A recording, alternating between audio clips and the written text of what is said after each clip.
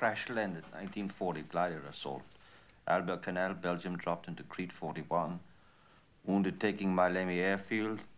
Knight's Cross, led volunteer assault group of 300 special action Leningrad. Stalingrad's Knight Cross with oak leaves and swords.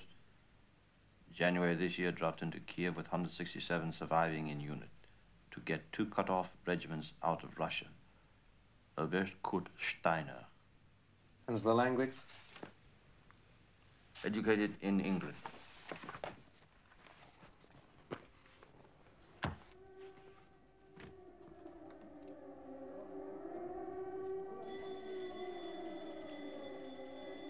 Third time in the last month, despite Goering's personal guarantee. Are you familiar with the works of Jung?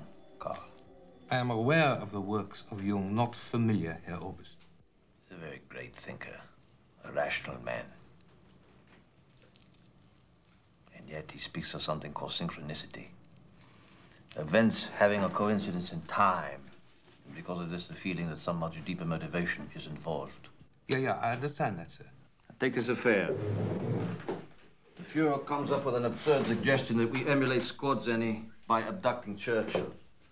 Now, for political reasons, we're prodded into making a worthless report on the prospects. And then suddenly, synchronicity rears its disturbing head. Yeah, yeah, I see that.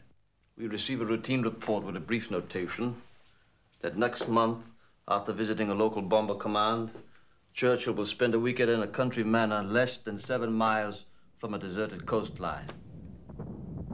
At any other time, this report would mean nothing. At this particular time, that particular file, becomes a circumstance which titillates. Coincidence to tease us. Surely Herr Oberst doesn't really believe this thing could be carried off.